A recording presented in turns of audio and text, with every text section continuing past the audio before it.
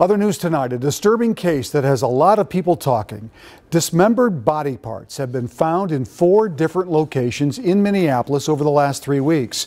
No one has been arrested, and many are wondering who would commit such a crime. Lou Raguse spoke with a forensic psychologist today as we try and learn more. Lou. Well, Randy, first of all, cases like this are extremely rare nationwide.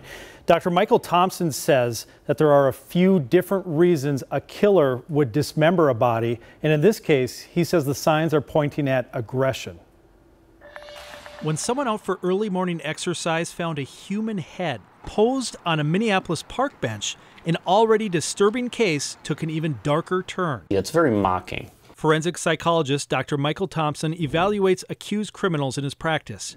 Based on the details we know so far in the death of 36 year old Adam Richard Johnson, Thompson believes the killer most likely was someone who knew Johnson and killed him with rage. Extreme rage, a great deal of emotion that both went into the killing, uh, but then killing wasn't enough. The victim's body parts were found scattered in four public locations, which Thompson believes is a sign the killer wanted to dehumanize and mock Johnson even in death.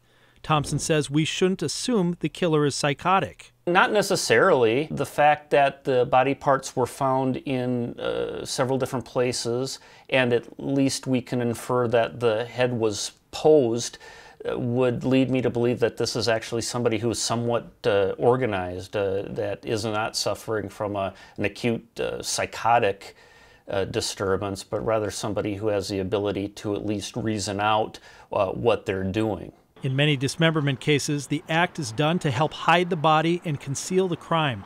Clearly, that is not what happened in Minneapolis. And Thompson says the fact body parts were scattered gives Minneapolis police more opportunities to solve the crime. Dr. Thompson says cases involving organized crime often involve posing a body to send a message, but there's absolutely nothing in Johnson's history to suggest any connection to organized crime.